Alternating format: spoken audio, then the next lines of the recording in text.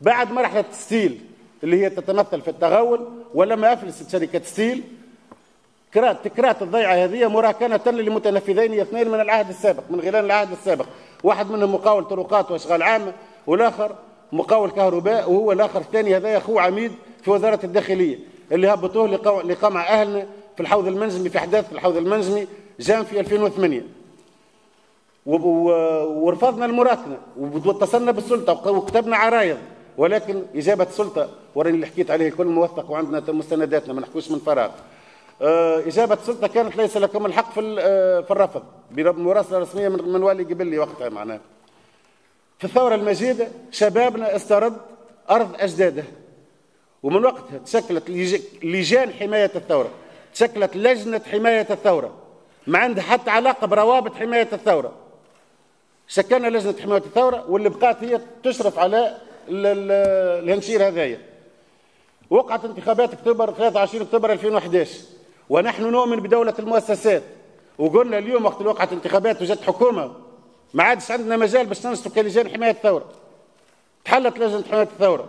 وبعثنا تأشيرة وتحصلنا على التاشيره صادرة في 20 في الرائد الرسمي. في صفحة آه، في الرائد الرسمي عدد 34 آه، في صفحتي 17763 بتاريخ عدد 34 بتاريخ 20 مارس 2002 ال bulletin de dépôt numéro آه، 88 51 02 512 معناها جمعيتنا راهي تنشط ضمن القانون أحنا هالبلاد هذيا هالدولة من الثورة وانت جاي وهي تحكي على شنو؟ على التنمية المحلية والديمقراطية المحلية واللامركزية وتسمعوا فيه الكلام هذا كله والمجتمع المدني وغيره.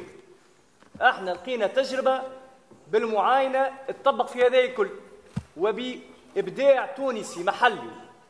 علاش كي تجي من برا من منظمات دولية وصندوق النقد الدولي تولي محلاها وكي تجيب أيادي وطنية بأيادي من أبناء هذا الشعب تولي حاجة فيها مشكلة واتهامات و... وتعرف سمعتوا كل الاتهامات اللي صارت. هذا نموذج اقتصاد تضامن اجتماعي. الميزة نتاعو إنه خرج من النمط اللي نعرفوه نتاع بيروقراطية الدولة وفي نفس الوقت خرج من منطق الربح الخاص.